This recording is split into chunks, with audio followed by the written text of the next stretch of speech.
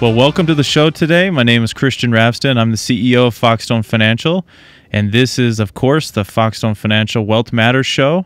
Uh, I am very excited to have a good uh, friend in here, a guest, uh, Debra. Thank you for being here with me today. Thank you for having me. Well, I am excited to have you because you are um, a wizard when it comes to numbers, and you're a wizard when it comes to working with businesses. And uh, again, so this show, what we're trying to do is bring people into uh, and onto the show that actually have an impact on people's lives, and that's absolutely what you do. You have a fantastic and a an absolutely massive impact on people's lives and in their businesses on how you go in and and help people understand their cash flow, right? That's right. So tell us a little bit about yourself and um, and, and I love your backstory. So tell people about your backstory and how you got into the business, and a little bit about yourself. Well, so first of all, I get bragging rights for being a fifth generation Coloradian. So I was I was born and raised here. Um, Not too many people like that here. No, but that's that's, that's the deal you. here. I'm yep. fifth generation, um, and um, so basically, I grew up uh, doing technology the short version of my story. And um, I ended up on the East Coast for a little bit. But I moved back here in 98 and I had an opportunity to go in on a ground floor. Um, well, it wasn't a ground floor, but I went into a, a travel company to do technology. Mm-hmm.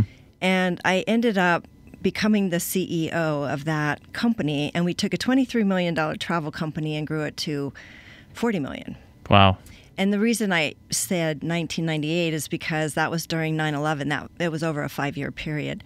So we took this company to 40 million, and I'm a CEO of a 40 million dollar company, and I ended up getting embezzled from by my own CFO and my own COO, and it was quite a surprise. It was very dramatic. Um, people flew in from United Airlines into our office, Greenwood Village Police, and I had no idea what was going on. So. Um, it ended up being the CFO and the COO, and I was not held accountable for that, but I could have been. Yeah. And in fact, that was during Enron, and those folks ended up going to jail. They said they didn't do it, but they still went to jail. Um, so that ignited the beginning of the passion for me of how do you run a company mm-hmm. and not understand your financials well enough that you can be embezzled from. So that company ended up getting sold, and I, I said, I'm an entrepreneur, so I'm going to go try this again. And I went and I bought a small business. It was just bricks and mortar, but I bought real estate with it. Mm-hmm. So going into it, I went in with a lot of debt. This time I knew my financials. The problem was I didn't understand cash flow, and I'm in a screen printing and embroidery business. We were an NFL screen printer and mm-hmm. so forth, but the margins were so low, and I had such high debt. I didn't I wasn't able to cash flow it. So that story didn't end well. I didn't go bankrupt, but I could have. But I went down with my dignity and I sold everything in a fire sale. So over that 10-year period, I learned about education on fin- financials. If you're going to be a CEO, you better darn well know your mm-hmm. financials. And the second piece, and the most important piece, really, is cash flow. And um, in fact, about 82% of businesses will fail due to poor cash flow or cash flow management. So I took those 10 years, it took me a year to lick my wounds and yeah. pull myself back up one more time. And I launched this business. So I'm 11 years old. Centennial Revenue Management is 11 years old. And we are focused on the education of financials for um, business owners. And I like to say from a CEO perspective, so mm-hmm. we're different than the CPA perspective. And we focus on the movement of money or cash flow money in and money out. So that's the biggest. So I do want to make a distinction for the, for those that are listening and watching. Debra works very closely with CPAs. Mm-hmm. She doesn't take over as the CPA. So again, explain that so that people properly understand, you know, what it is that you do, um, because they may say, and trust me, I've heard it before, right? well, I already have a CPA, right? Right? I already have an advisor, right? Right? I already have this person, and you say that's great. Let's in, let's invite them to the table. So tell tell us a little bit about your methodology and how you like to work with the business owner and the CPA and the advisor and and um, kind of the seats around the table. Yes, yes, and you and I have partnered a couple of times with those um, at the table. Yeah, so I like to. So a CPA is focused on. Uh, they're subject matter experts, so I try to educate business owners on surrounding themselves with subject matter experts. I function as a CFO or a cash flow consultant. A CPA is focused on tax liabilities and helping keep you out of harm's way. But think about it, a CPA is really a rear view mirror thinker because they're looking at something as when the line in the sand is drawn for tax estimates and so forth. And then they give you strategy for taxes. Um, I'm a cash flow strategist, so managing cash flow takes proactive strategy. So I'm always looking into the future. So I like to say, what if you could have a, the same conversation with your CPA and your cash flow strat- strategist or your CFO to help optimize cash flow and minimize your tax liabilities because our objectives are different, right? But that's like that's like the genie in the bottle, right? That's what everybody's looking for. Right. They're wanting to reduce tax liabilities while keeping cash flow or income high. That's right. But in order to have good cash flow, I'm at odds with the CPA because the CPA Right. wants to minimize. Right. They want you to have the lowest drop to your bottom line so you don't pay taxes. Right. But it, the reality is, you have to have a minimum drop to the bottom line for good cash flow. So then, therein lies my subject matter expert team. So, um, as you know, working with me, if um, we work a lot with dental practices, and if that dentist is making a lot of money, they're likely to pay a lot of taxes. So, why not bring in a subject matter expert like you that can say, well, what can we help? To do to get more money in your pocket through an investment strategy. Right. So now we've added a financial planner, wealth manager, a captive insurance program to our seat at the table. Mm-hmm.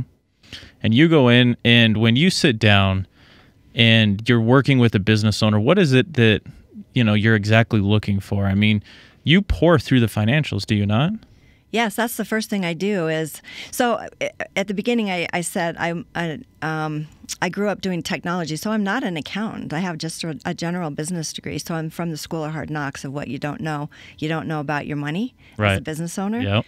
So the first thing I do is I go in and I look at their financials. I go right into QuickBooks or their accounting software and I vet their financials. So that's another subject matter expert is the bookkeeper. I call that person the keeper of the cash flow. yeah And so once I get an idea of their books and their financial integrity, um, I can't forecast if the financials don't have the integrity. So that's the first thing I'm looking at. And the second thing I'm asking is, have you filed your taxes? So if we're like mid-year and they're still not filed, having filed their taxes, now the flag is getting raised on, well, how good is your CPA and do we need to look at that? Yeah. So I'm kind of an advocate for the CEO to help bring my level of expertise and experience and say, you know what, let's let's replace that bookkeeper or let's let me help educate your bookkeeper on better practices. so you do a lot of education with existing people in place and or looking to potentially bring in and fill in gaps within the leadership team and that leadership team may be a better bookkeeper maybe a better cfo maybe a better cpa or one that fits that practice better correct That's correct. And then I also bring in additional subject matter experts, wealth managers, bankers. That's always Yeah. a big deal too. As a banker, would be a good subject matter expert because if they're carrying a lot of debt, um, let's see if we can restructure debt. What do we need to do to get more money in their pocket? So, what is the typical plan with, you know, as you work with someone, what does that typical plan look like? Is it, you know, you go in, again, I call you the wizard of cash flow. You go in, you look at their financials and say, okay, you know, we need to do X, Y, Z, you know, A, A through Z or A through L. How does that work? And I mean, tell us, fill us in a little bit more about, you know, how, how you go about fixing these companies. Yeah, there is a method to my madness. Yeah. So I go in and I, uh, number one, ask them to commit to me at least for like a six month engagement because it takes time to bubble up what I call the dirty little secrets in their financials. So I'm mm-hmm. always talking about the dirty little secrets of cash flow. So I and by them committing, they can always have an exit plan if they don't like me or whatever, they can terminate. But the idea is for them to commit to this process. I come with a methodology that I created when I launched this business, and it's what I learned from those 10 years of getting my my hiney kicked with both education and cash flow. Yeah. So I go in and I look at their financials, and the first thing I want to do is I want to cash flow it and see what does it look like. So my methodology that I use takes a four month trend off of a business financials. I combine mm-hmm. profit and loss and balance sheet, and I forecast eight months into the future. And it's moving month to month with the business. So the owner can't say, well, it was a summer, it was slow, or it was right. busy. I take a four month um, story of their financials and I th- cast it out eight months into the future. So number one, I need to have financials with integrity. So I'm I'm looking at their bookkeeping and we're getting all of that caught up and up to date. The second thing I want to know is what's their tax liabilities for the season for this year. So we might be um, forecasting quarterly tax estimates and so forth. So that might warrant a conversation with their CPA. And then I go through uh, a process meeting twice a month and we um, first month we review their financials, lock in a forecast, create strategy to help get more money in their pocket or drop more money to the bottom line. And second meeting of the month, we are talking uh, about measuring the strategies, the metrics, and are we making movement. Throughout this process, though, I am educating the business owner on their financials. So we're constantly looking at a balance sheet. Mm-hmm. Um, that's the weakest link, by the way. The balance uh, sheet is the weakest link in um, a business owner's understanding of their financials because most CPAs are not educating them on their balance sheet because it's from the beginning of time. So it doesn't really have relevance to tax liabilities to a degree. Right. Doesn't have anything to do, well, it has some to do, but they're not looking at it for profitability. So most mm-hmm. business owners are looking at their pro, um, profit and loss. So I'm educating on the balance sheet because there's lots of dirty little secrets on yeah. the balance sheet. So I do want to say that I have seen your spreadsheets, and I, as we've worked on clients together, your spreadsheets are unbelievably accurate. And if people stick with it, mm-hmm. they see an absolute turnaround in their business, right? Correct. So that's pretty amazing. I mean, your School of Hard Knocks is dead on 99.9% of the time. It's pretty amazing. Thank you. So it is. It is. That's congratulations. I mean, that's that's how you've been able to grow your business as you have is because it works and it works really well. Yes, and I may I share one story real quick to show that. I love success stories. Okay, so um, and this was back when I was in the Crankset group there, and um, I got, got referred into a medical practice, and it was in July of that year, and. Um, it was about a $5 million medical practice billing out. And they had two doctors were the owners, but they had about 35 team members on their team. So it's a big practice. It was a big practice. And um, they were having a significant cash flow. So basically, owners were not taking as much salary, and everybody on the staff was taking a pay cut. So I went in, did my process, looked at their financials, looked at everything from the beginning of the year, and they had some bookkeeping challenges. So we fixed that.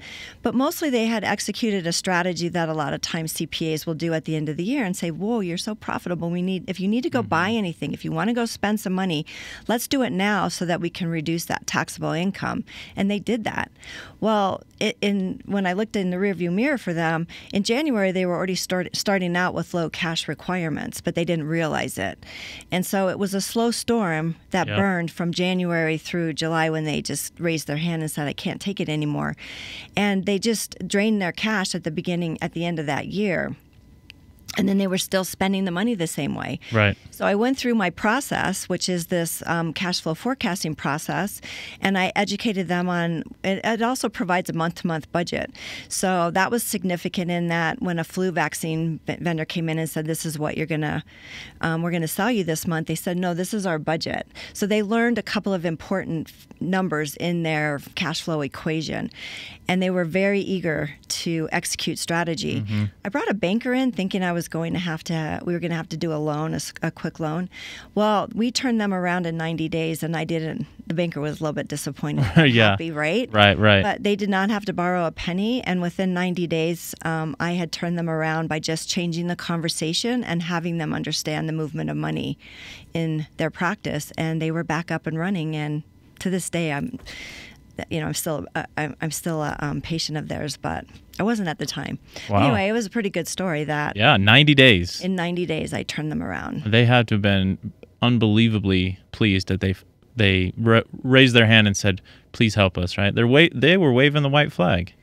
Yeah, they didn't under, and their CPA did not understand why they were having a cash flow problem. I mean, you would think with a practice that's billing $5 million a year, there wouldn't be any cash flow issues. Right, and they were very profitable. That was the other that was the dirty little secret. They were very profitable. So here's a dirty little secret about the balance sheet. I mentioned that they were um, two partners that owned it. Well, they were structured as such, what's called a, um, a PLLC. So the two partners were taking guaranteed payments out of the balance sheet. Mm-hmm. So they were not part of W 2 wages that are on the profit and loss, right? Right. So they were taking their money off of the balance sheet. Well, nobody was watching the balance sheet. Significant amounts of money going off the balance sheet that was causing the cash flow squeeze. There you go and that's why you educate on ca- on the balance sheet. Correct. Right. Mm-hmm. Not only do you educate on profit and loss in addition to the CPA, but you go through a budgeting process and you educate on the balance sheet. So, so uh, business owners understand their financials.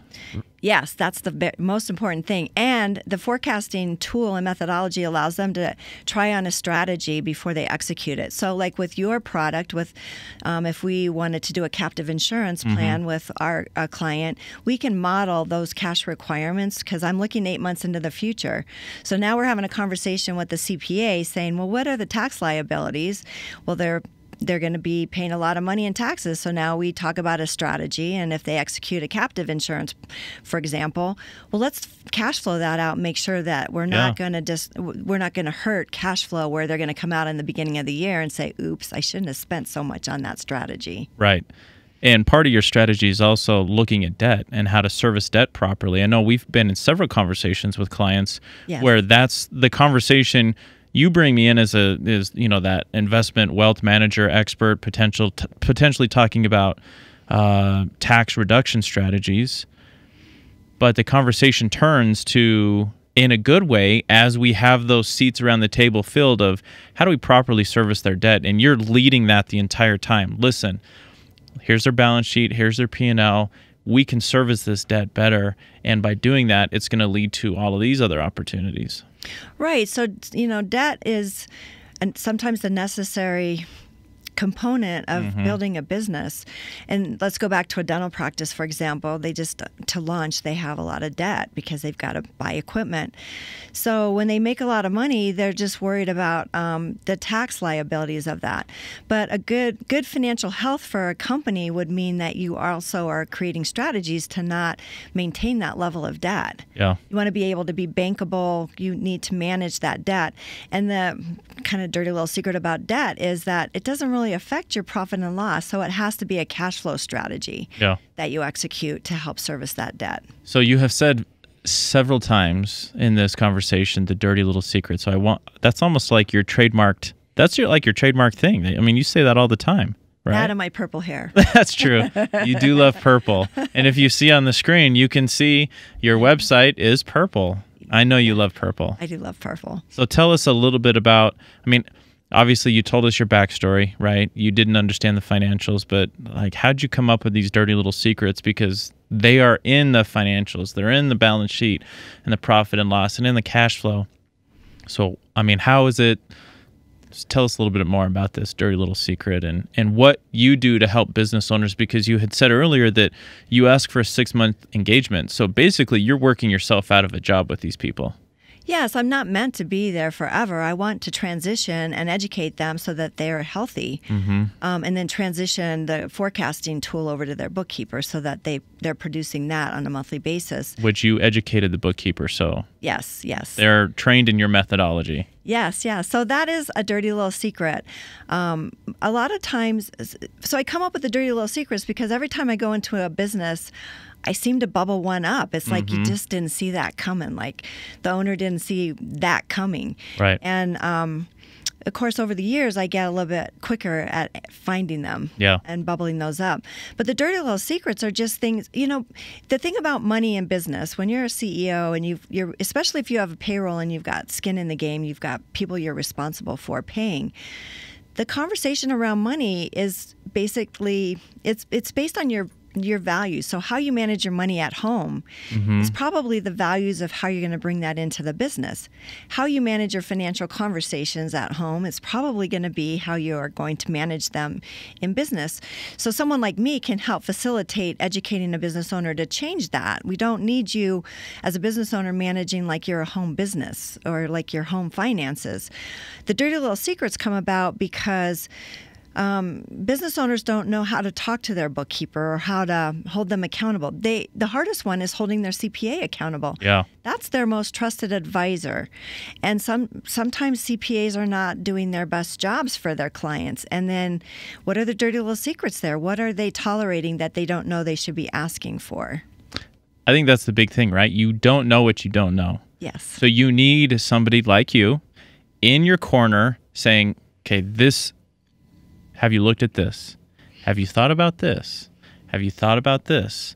Right? Let's bring your CPA in, let's bring your bookkeeper in and let's let's talk about this because I feel like once a business owner, a good business owner understands what they should be looking at, they can put a culture in place, they can put the right people in place or the education in place to achieve what needs to be done, but they just they have no idea. Right. And when when you're at the helm of a company, employees most employees want to be there. They want to help the company grow. And think about it in its simplest place. Employees can only help um, in the financial arena two ways: one by helping increase revenues or help decreasing expenses. So why not educate your team on the basics of your financial story? So don't make it the secret. You know what's happening behind Right. the, the veil, educate them on, you know, like our payroll percentage is 50% of our revenue. So we team need to do something about that. A strategy could be don't have as much overtime. Or we're not dropping as much to the bottom line. It looks like we're profitable, but our goal is to dirty little secret about that. Yeah. You need to have a 10% drop net profit to revenue ratio to just get started with good cash flow. Dirty little secret there. There you go. Mm-hmm. And that's that is from lots of experience, mm-hmm. School of Hard Knocks. So the bottom line is is if you want to know more about these dirty little secrets, right? Debra is absolutely full of them because she has lots and lots of experience. And you actually have so the name of your business is Centennial Revenue Management, Correct. correct? Uh, you also have another one, which is Total Cash Clarity. Yeah, so many years ago, I thought about, I used to call it cash flow in a box. So I wanted Yep. to create this app, if you will. So why mm-hmm. not automate this methodology? But over, so last year we created the app and we call it Total Cash Clarity Okay. and we trademarked it. And you can go to totalcashclarity.com. Oh yeah, where you can see it up on the screen right now. Yes, yes. And so we are actually, so for people that don't want to have a CFO or have somebody at my level into their company, they're a smaller business, but they want to educate themselves on the methodology. Yep. You can go to the website and we're selling it on a subscription basis. And it's real easy and it's just month in, uh, one month at a time. So you can dip your toe in it. Yep. And it's for less than a haircut, we like to say, for the monthly fee. Maybe not for a woman, it might cost a little bit more, but for a man, Yeah. definitely less than a haircut. But you can go on the website and we're starting to put out our dirty little secrets. We've got follow the money tips. So, what I told you about the balance sheet, you can go there.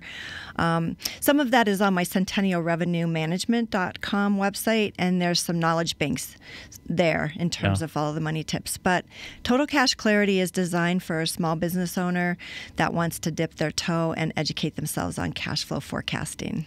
which is key. Again, I, I can't say enough how the the times that we've had to work together, how on you know on point your forecast is, and how you work with these business owners, and you can see from the beginning of the the engagement with these clients to the end how dialed they become about their numbers. Right? I mean, they really continue you make the businesses much much more efficient and you make the business owners much more efficient so that's huge and so to for small to medium sized businesses that want to dip their toes in who wouldn't want to become more efficient and more profitable and understand their business better and sleep better at night because that's really what it's designed for is Yep. peace of mind and empowerment. So if you're going to have a cash flow problem here's another dirty little secret. Another one. I another love one. It so cash flow is not about the next 30 or 60 days because think about it that money is already in play. Right. If you have a significant payroll, go back to my medical practice,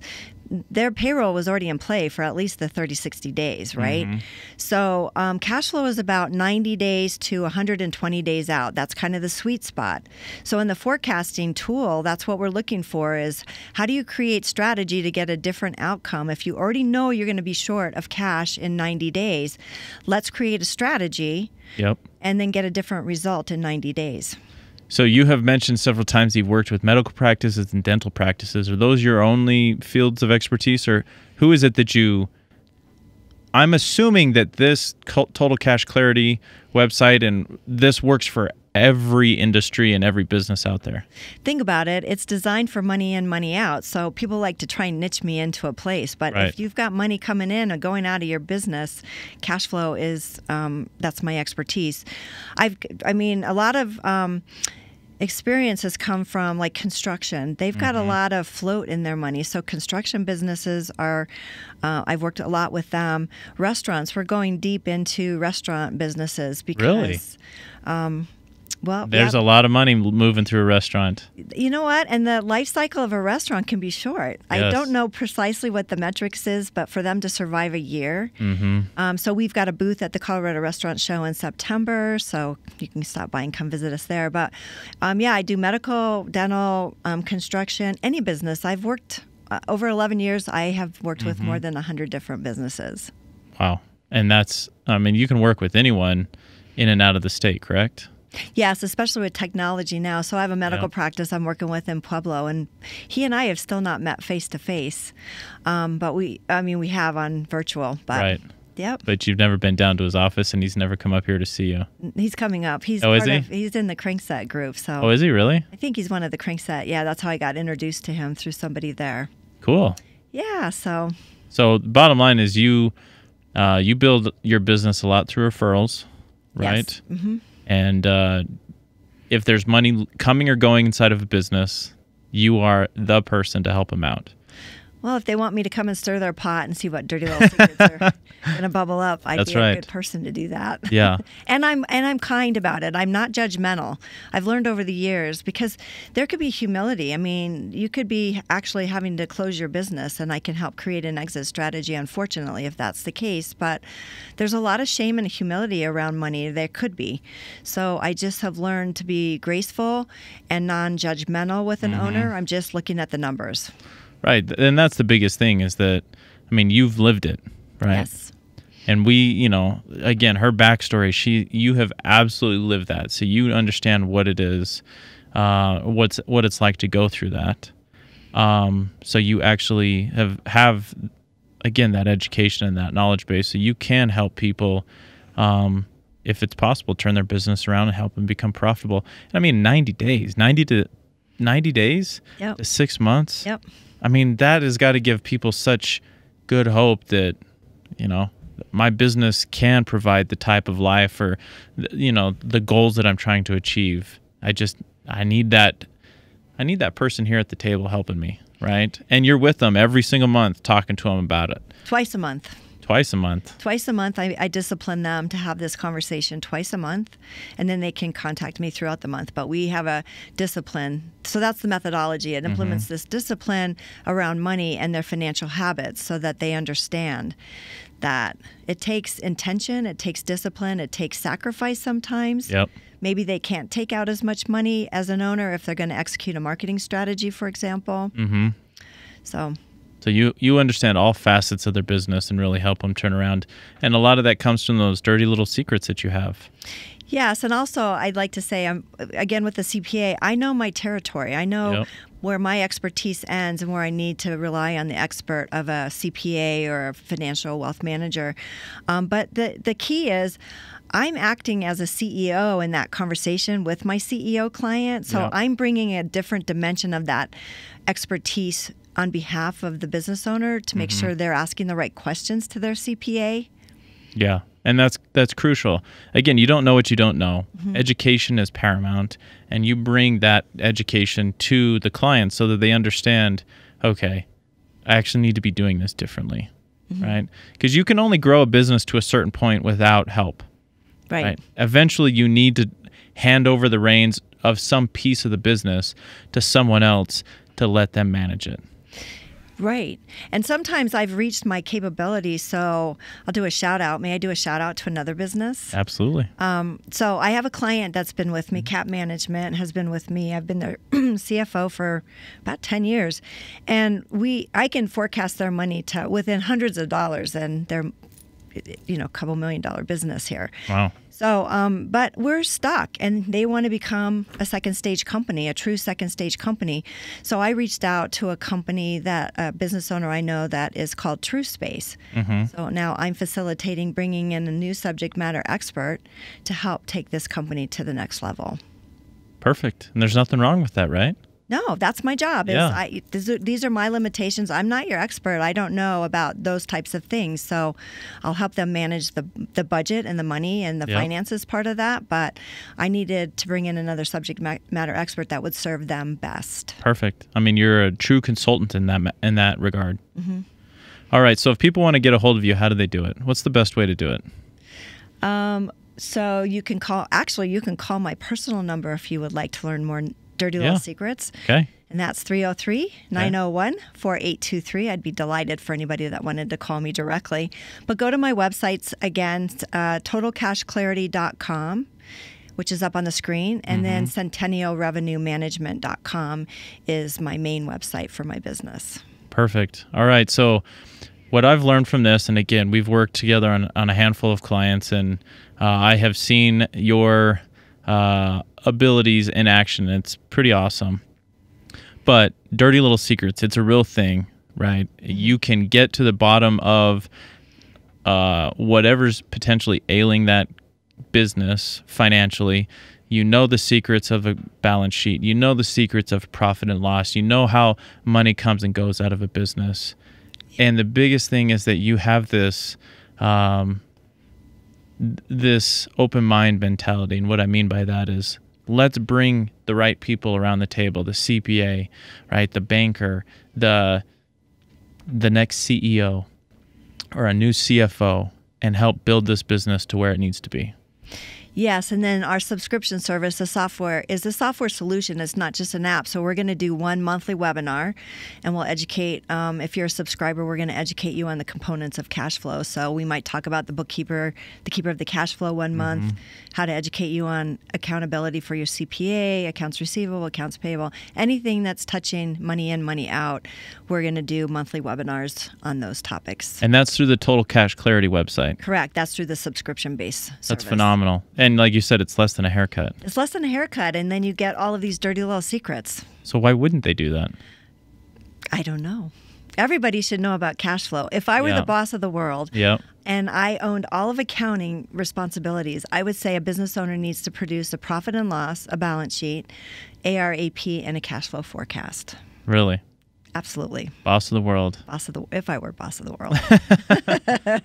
Well, you are the boss of all the all of your clients and I'm sure they they do love you. I know that. Oh, so Oh, thank you. We've worked together for Yep. gosh, I don't know how many years now. We did our first client probably 5 6 years ago? at least, yeah. It's been it's been yeah, crazy. Been a while. yeah. Crazy ride. It's been awesome.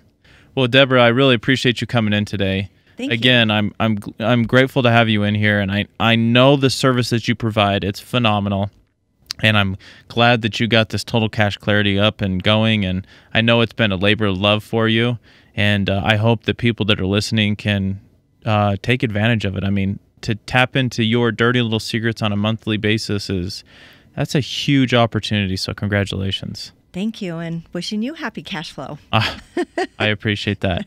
Again, this has been the Foxstone Financial Wealth uh, Matters show.